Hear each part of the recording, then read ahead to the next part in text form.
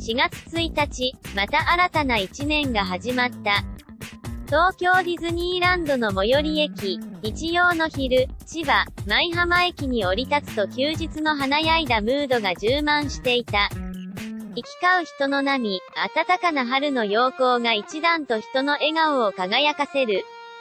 その日本最大のテーマパークに隣接する浦安市運動公園陸上競技場で、関東サッカーリーグ一部の開幕戦ブリオベッカ浦安、千葉、埼玉サッカークラブ、SC、埼玉、戦が行われた。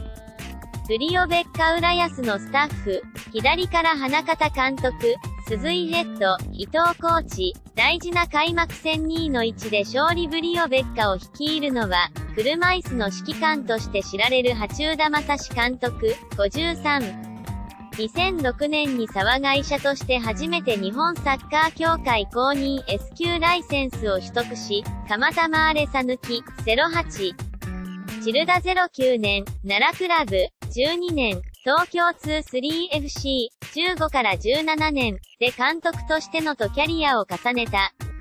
フリオベッカで4クラブ目の指揮、新たな一歩を踏み出す。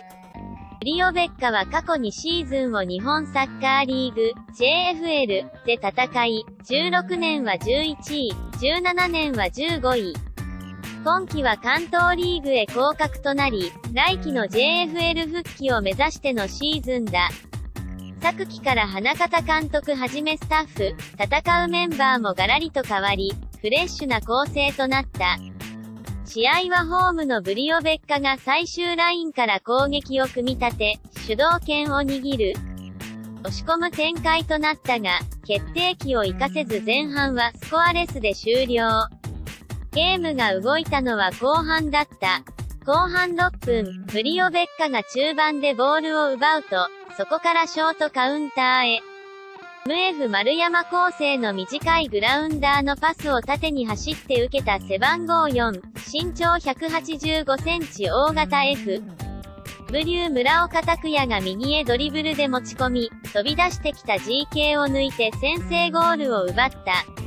有料試合、大人で当日1000円、となったこの試合、後半途中にアナウンスされた監修は、1341人。一見したところ収容人数2000から3000人の小さな競技場だけに、その占有率は高い。隣のテーマパークからは風に乗って様々な音楽が聞こえてくる。華やいだムードがこちらにも伝播した。1点リードしたブリオベッカはその後も再三にわたり、埼玉 SC ゴールへと迫る。そして追加点が生まれたのは後半33分、MF 坂谷竹春がゴール前左サイドから左足でシュート。ゴールライン上でブロックに入った選手を弾き、ボールはインゴールへ飛び込んだ。2の0、歓喜の輪が広がる。このまま試合終了かと思われたが後半ロスタイムの49分、ラストワンプレー。フリーキックから埼玉 SC の FW 小畑と式に頭で押し込まれ、1点を返される。ほどなくして試合終了を告げるホイッスルがピッチに鳴り響いた。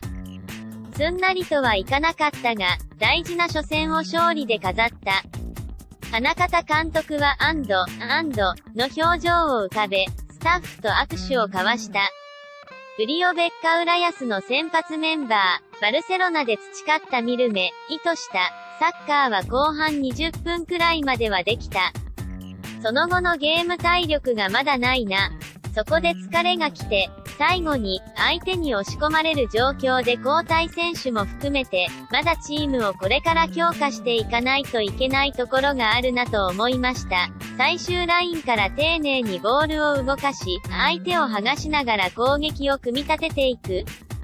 選手たちを見て、スタッフと一緒に考えてこういうサッカーになっている、と説明。欧州サッカーのテレビ解説者としても活躍する花形監督だけに、バルサとかマンチェスター、シティとか意識しながら、そういうのは、頭の中の、どこかにあるかな、とも言う。もともとバルセロナを拠点にコーチ修行し、サッカーを見る目を養った。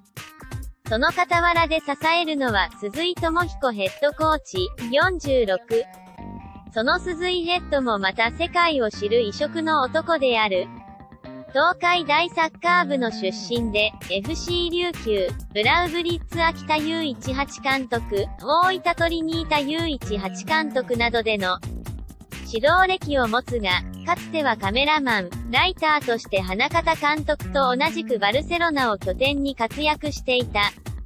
メディアとしてピッチサイドから世界一流のプレーを見続け、